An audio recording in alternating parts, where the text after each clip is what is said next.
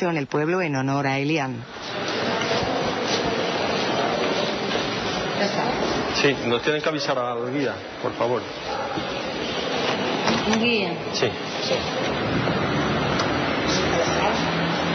El pionero tiene en su brazo un Superman, Ujú. representante de la cultura americana.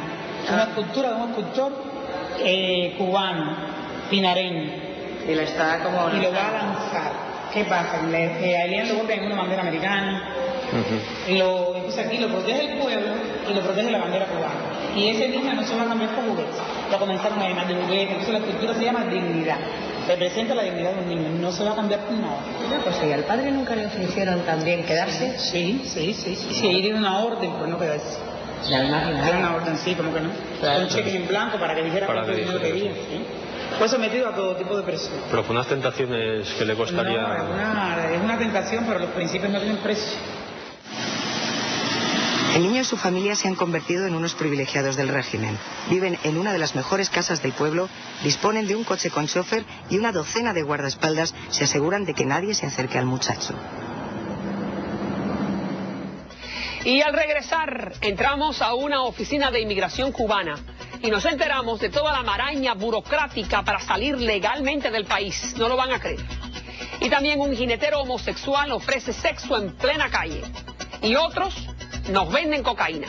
Todo esto en La Habana. Ahora más de los testimonios de los indocumentados presos en la llamada Tent City, el sheriff Joe Arpaio. Tengo una tía, está de estrella, y ella la llevaron a un salón de baile. Y se llevaron a ella y a un hermano de ella, y los hijos de ella los dejaron en mesa.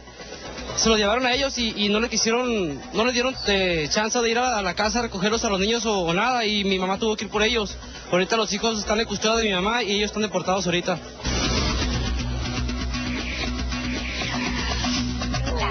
Hazle una preguntita eh, no sé que conozcan alguna, algún español que haga carta, porque ya me dan la visa. Y necesitas un español Pero que me haga dan una una carta de de invitación. No, invitación. Porque es para aquí, es para aquí, Yo no es para allá. Ya lo vieron, los cubanos de a pie inventan de todo para poder salir del país sin jugarse la vida en las aguas del estrecho de la Florida. Vamos a ver esta tragicomedia migratoria en el medio de La Habana. La dificultad para ganarse la vida ha provocado que muchos cubanos se obsesionen con la idea de huir.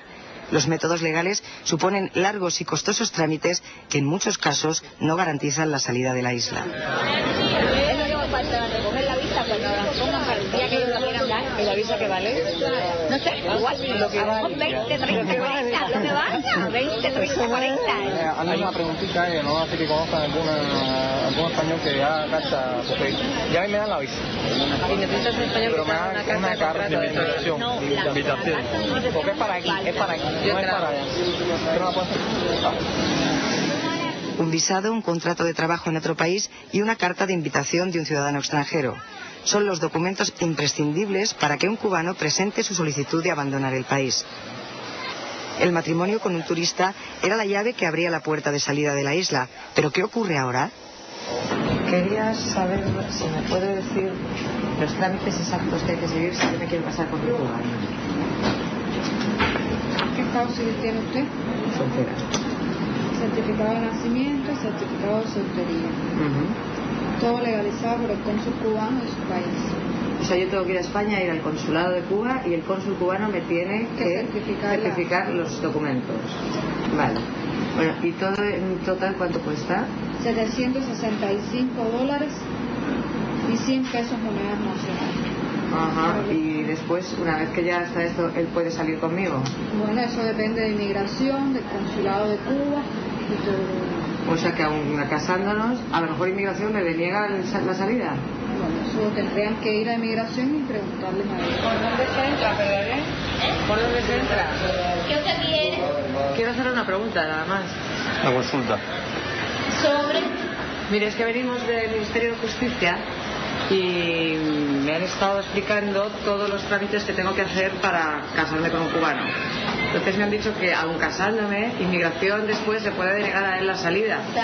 Y quería saber qué criterios siguen para denegarme la salida, porque para él es un esfuerzo reunir. eso no se lo puedo decir hasta que la persona no haga su trámite presente. Eso no se lo puede decir a Eso cuando la persona presente se le dice. O sea, pero no hay ninguna garantía de que aun casándome con él pueda salir. Muchas gracias. Otro de los integrantes del proyecto Varela es el socialista Vladimiro Roca, antiguo miembro del Partido Comunista de Cuba. Tuvo la osadía de redactar el documento La patria es de todos, en el que criticaba la política de Castro. Le costó cinco años de cárcel.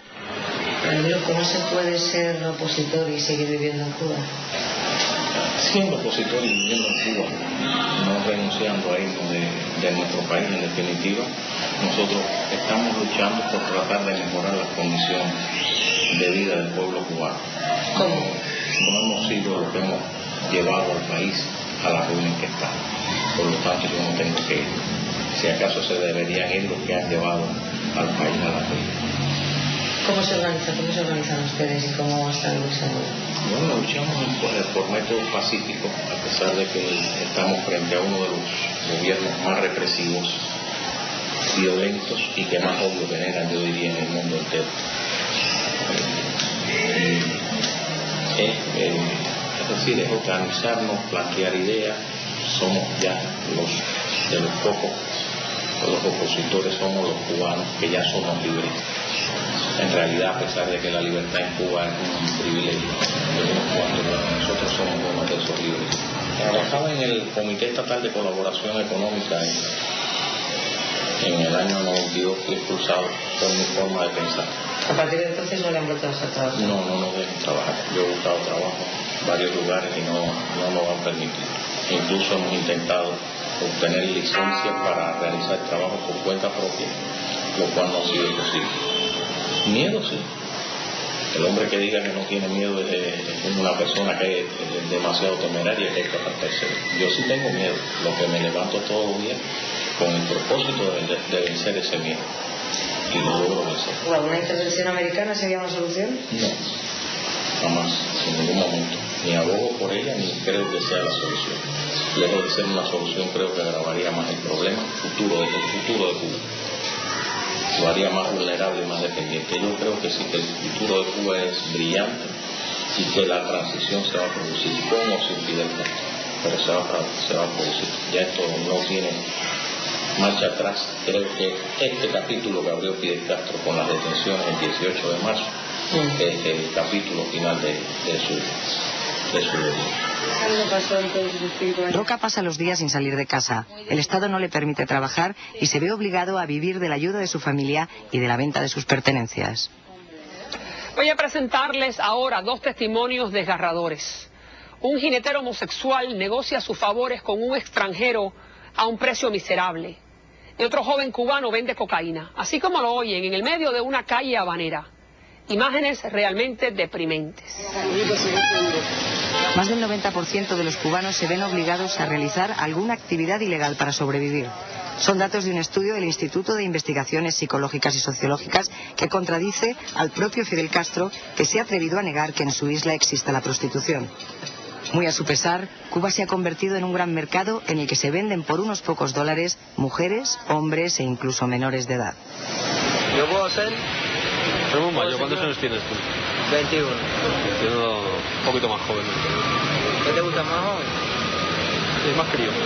Sí, pero aquí los más jóvenes, los chicos de 16, 17 años, es menores de edad y la policía. O sea, es porque está la policía hoy, entonces. ¿Y dónde están ahora ellos? Sí, a para la fiesta. ¿En la fiesta todo? Ya la gente que se han ido a la fiesta son chicos que están extranjeros ya. Sí, claro. Normal, dile que si quiere irse conmigo, normal, avanza. Él te entiende. Sí, no, sí te estoy entendiendo perfectamente. Habla, habla conmigo, habla conmigo, habla conmigo que, que yo soy el que voy a hacer el negocio contigo. Yo te voy a hablar claro, loco. Esto es en- aquí en, en el mundo gay, Ajá. de ser gay. Sí, sí, sí, no, Si te gusta y quieres compartir conmigo, vamos a la fiesta y después vamos a donde quieras. ¿Y cuánto me cuesta eso? No sé, cuando tú me podrías. O sea, lo que yo considere que te mereces, según lo que hagas. Ya está. No, tener un precio más o menos porque mira, para saberlo casi. No sé, eh, 25 está bien. 25. Está bien. Sí, está bien. Está bien 25. Vamos a la fiesta, si quieres ir, vamos. Además, comprar drogas hoy en La Habana es más fácil que conseguir un pedazo de carne para comer. No, para ala de mosca, tengo ala de mosca. De la cristalina, 40 dólares el gramo. Y eso pago. La contadura 15%, pero 85% es poca. Un 100%, un 85% es poca. La de esa calidad me vale. 40 dólares un gramo. Hecho ropa pesado, pesado, pesado. Te lo doy, lo pruebo, si te gusta hacemos negocio, si no, nada. Yo o lo pruebo o no quiero. Sí, claro, yo te lo doy, tú lo pruebas. No, pero quiero, que, y quiero ver que de los mismos que pruebo es lo mismo que me llevo. Yo te lo doy. Probaste, ¿te gusta? No me lo des más, dame mi dinero. Ya. Y al regresar, un sonado caso de brutalidad policial en el condado Maricopa, donde el sheriff Joe Arpaio campea por sus respetos y le amarga la vida a los inmigrantes indocumentados. Ahora los dejo con más imágenes de los indocumentados. Eso